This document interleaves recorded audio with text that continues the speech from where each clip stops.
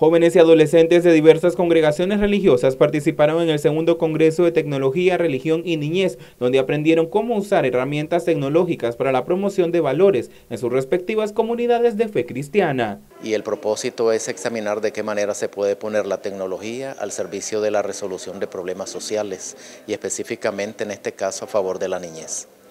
¿Cómo han respondido las personas que están participando el día de hoy? ¿De dónde provienen ellos? Los participantes provienen de universidades, organizaciones sin fines de lucro que trabajan con niñez y adolescencia y organizaciones religiosas. También hay organizaciones juveniles acompañándonos.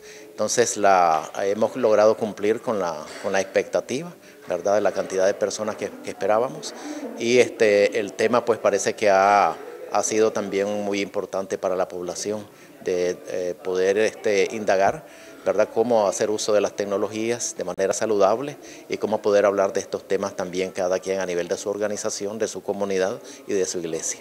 Durante el Congreso también aprendieron a utilizar las herramientas de producción de video para mostrar la realidad en que viven los jóvenes, así como la influencia de los videojuegos en la personalidad. Por ejemplo, las temáticas que hoy estamos abordando es el tema de los videojuegos, eh, cuáles serían en este caso sus impactos positivos y negativos dentro de, la, dentro de los adolescentes. Va a haber un panel para examinar este tipo de temas. También vamos a ver cómo hacer uso de eh, la facilidad con que hoy puedes hacer producción de videos haciendo uso de tu celular y cómo puedes transformar la comunidad donde vivís, los problemas que tenés, poderlos dar a conocer hacia afuera, de tal manera que puedas encontrar personas que tengan recursos y quieran apoyarte, haciendo uso nada más que eh, la producción de videos.